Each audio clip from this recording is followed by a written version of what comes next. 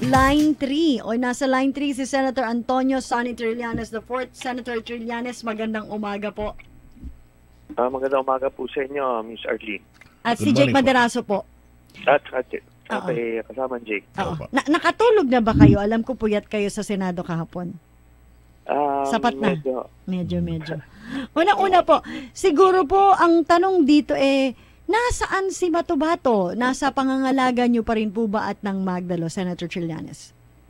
opo. Um, gano'n naman po yung naging kasunduan nung ah, nung siya ay ni-reject ng ah, Senado. Eh, wala akong magagawa kung hindi mag-provide ng temporary ah, security sa kanya dahil hindi naman namin pabaya, pwede pabayaan na itapo na lang namin sa sakalye, no? After namin na marinig yung kanyang testimonya. At yan ay uh, dineclare ko in uh, personally kay uh, uh, Senator Gordon at doon sa ses doon sa hearing namin nung uh, pumalit na siya bilang chairman ng Committee on Justice. Oh, I remember that portion na tinanong ka tungkol dito kasi nga ang question doon it was Senator Tito Soto ang nag ah, ano nag uh, uurirat. Si, kaninong witness ba talaga ito who's giving him security? And I think at that point sinabi niyo na napilitan kayo na kayo ang mga laga ng seguridad niya. Yes, Mm. opo. Mm. Ah, Senator, alam mo, ah, ang issue kahapon, kagabi nakikinig ako sa inyo, matindi yung ah, pakbakan but anyway, material concealment ang ah, pinaglalabanan ano po. Pero kayo po, tanong ko lang, alam niyo na po ba before pumasok itong si ah, Matobato na siya may kidnap for ransom case even during the first hearing? Dalawang beses so, no, dalawang hearing doon, base doon sa transcript, Hmm. sinabi niya, binolunteer niya yung information na yon. One, ng chairman si De Lima. ah, De Lima, De Lima, De Laila. Lima, nung ah, Senator De Lima nung September 15. And pangalawa, nung September 22, nung chairman na si Senator Gordon, nagkaroon pa sila ng exchange about it. Kaya alam nyo, very, ah, ano ah, ah, kumbaga unfair yung ginawa kay Senator De Lima kahapon. Yun yung naging issue, yung pala, dalawang beses dineclare and kay Senator Gordon mismo. At ito nga, no, dito mo ma-highlight yung memory lapse. Ito, we're talking about uh, just a week ago, uh, a week or two before, tapos eh, nakalimutan na kagad ni Senator Gordon. Tapos itong si Mr. Matubato, uh, nagpintis lang siya ng taon dun sa kanyang testimonya, eh, hindi siya mapatawad. 2000, Pero- 2002. Mm. Yes. And pero ito ngayon ang ah, lumalabas. Remember nung nung sinabi niya 2002, Mm. ah, sabi ni Senator Lacson, ah, wala nang paok TF niyan. Mm. So hindi ka pa kapa- kapanipaniwala. Eh ngayon pala 2000, eh hindi may paok TF pa. Mm. Eh di tama talaga. Mhm. Mr. Matubato. Di ba? So, alam nyo, kahapon, obvious na naghahanap na lang ng dahilan. Kaya nung napahiya sila nung binasa ko yung transcript, naghanap na naman ng ibang dahilan. Ah, wala. Sabi ko, determinado silang tapusin yung hearing. So ano po mangyayari? Matutuloy pa po ba? May second hearing ko ngayon, di po ba? Wala na. Ah, wala na. Hindi, ah, night, i- indefinite suspension pa lang until Oh, further further notice. Oo. Oo, mag, ah, mag-uusapan daw ngayon. Pero, kagabi, ah, uh, mo, early on, sinasuggest ko na pagharap-harapin na natin. Di ba yun yung usapan? Oo, yung labing anim. Ayaw nila. Mm, mm. Ayaw nila noong umaga kasi alam nyo napahiya eh. Kaya sila nag-suggest na yung i-line up daw tapos ituro ni ni Mr. Matubato dahil akala kasi nila ito tao lang na pinulot lang sa kanto eh na nagbigay lang nag-memorize lang ng pangalan. So therefore hindi niya matuturo. Eh nung na-realize nila na magkakasama pala to talaga, suddenly change the rules na hindi na lang daw ah, hindi na lang daw i-line up. So Mhm. nag-stipulate na lang sila na magkakakilala. So yun, it's a major admission that bolstered the credibility of Mr. Matubato. Pero dinipride nila yung media ah, image na nagtinuturo ni Master Matubato isa-isa.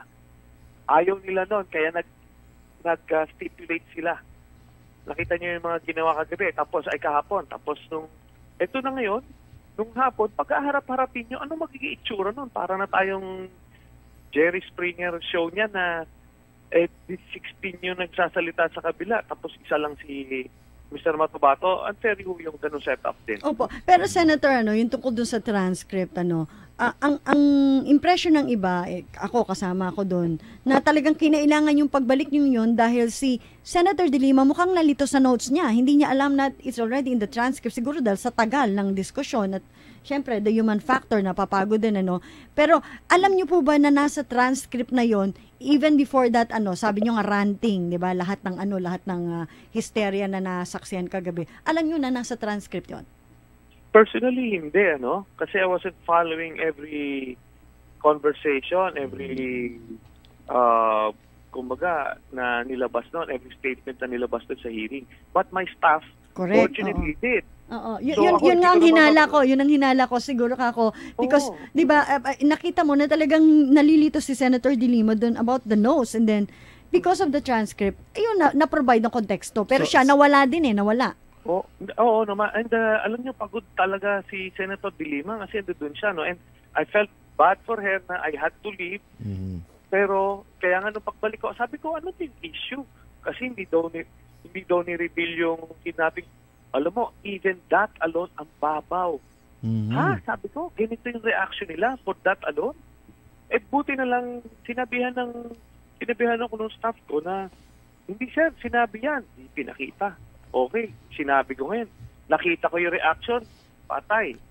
Napahiya. So ang Kaso sinasabi kailangan na- ang sinasabi sila eh. Senator, ang sinasabi nyo, kumbaga sa ano, theatrics lang yung ginawa ng grupo nila Gordon dahil ah, sabi nyo nga, nasukol nyo na with the evidence na meron palang ah, statement dalawang beses sa open hearing. Oo. Napahiya na. So ngayon, eh grabe na yung theatrics eh. Mhm. Nakabuelo na eh. Hindi na pwede umatras. Mhm. Paano ngayon? Anong hana? Eh ngayon, nung sinabi ko yung, yung kay Mr. Matubato rin na gabi na eh, malalim na yung gabi, 8.30, Mhm. ni-recommend ng security officer to na na kailangan na namin bumiyahe kasi alanganin, ah, sinabi sa akin. O Mhm. binagbigay na ako ng go signal.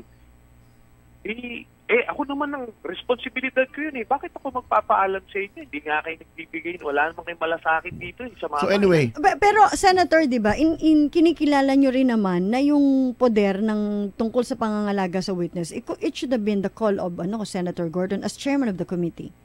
Yes, but uh, uh, technically, the committee was, didn't give, uh, is not giving anything mhm. to Mr. Matubato. In fact, nire-reject nila to as a witness. yes. Besides, okay, sabi ko, okay, sige, sabi ko, sige na, kung mali ko, di mali ko. Anyway, sabi ko, may hearing tayo ng alas 9 ng umaga. Iti tanong nyo lahat ng gusto nyo itanong. Mhm. Problema ba yon? Anyway, Sabi ko, oh, So, yun, oh, eh. In, a way, commitment yan na kung tinuloy ang hearing ngayong alas 9, you will bring him back to the committee. To, Definitely, to, for the next three days. That's my commitment. Pero- pero, In fact, Senator- even informing me, ah. Senator, ah syempre, nakausap mo ba kayo ni Matubato mula kagabi hanggang ngayon? Ah, how was he? How, di- how did he? na. Hindi na niya alam kung ano nangyari doon. Ah, hindi niya nabalitaan. o was he told? I- I'm sure na balitaan nila yon ano? Mm. Kasi ah, baka sa radyo, eh mahaba yung biyahe, grabe yung traffic, di ba? So sabi ko, i- ano, ah, alanganin yun na buti sila ng hating gabi sa kal- kalsada. So, ganun yun, wala kayong magagawa eh. eh sabi ko, eh, sinuggest ko sa inyo na umaga nyo, nung first thing in the morning, first thing during the hearing na pagharap-harapin yan eh. Pero ayaw nyo. Tapos ngayon eh, nagwawala kayo na parang Umalis. Pe- pero eh, ang ginamit na salita, tinakas po, Senator. Ano? Pero halimbawa, natuloy yung hearing ngayon, at halimbawang hindi dumating at hindi na lumabas si Matubato as, as you promised, ang mananagot din naman doon because everybody knew na ikaw nang may ah, pangangalaga sa security, ikaw din, di ba? Yes. Mm. And nagtataka ako sa kanila, kagabi, parang akala kasi nila wala na ako sa building. Nasa office Kaya ka lang pala. Oo, kaya sila nagwawala doon na biniblame nila din si Senator De Lima. Talagang they were ganging up on her Mhm. for various reasons. Ngayon nung lumabas ako, inako ko, o ako yung may, ako yung may ang kagagawa niyan. Mm. At ko- it's my judgment call. I made it. Ngayon, kung may tanong kayo, the value ay 9 o'clock naman, ilalabas ko yan. Mm. So, walang nawala dito.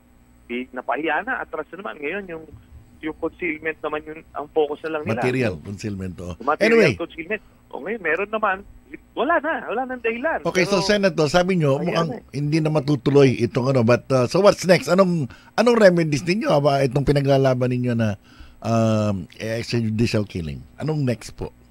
Alam niyo, lahat ng mga kababayan natin sinusubaybayan to. L- lahat naman kami, ah, ano kami, slaves kami of public opinion. At itong mga politikong ito, pag na-realize nila yung kamalian nila, nako, eh, alam niyo man dito sa Pilipinas, ah, mabilis magtatalunan yan pag bago, pag nagbago na init ng hangin. O sige po. diba? Ah, House Secretary ah, Senator De Lima. Nagkausap na ba ah, kayo kanina pa namin tinatawagan nagre-ring lang. Kayo ba nagkausap na? How is she today? Siyempre, ano, alam ko na. Kukumustahin mo siya after last night. Hindi ho eh. Uh, she was very upset and I can imagine she was very tired. Uh, kumbaga eh, I, Oo, I- labing anim. Ang dami. Mm. oo. Sige po, maraming salamat sa iyo. Senator Trillanes, salamat po mula sa Inquirer TV po. Salamat na marami. At Arlene Inquirer. Jake Madarazo, Banger Story. Banger Story.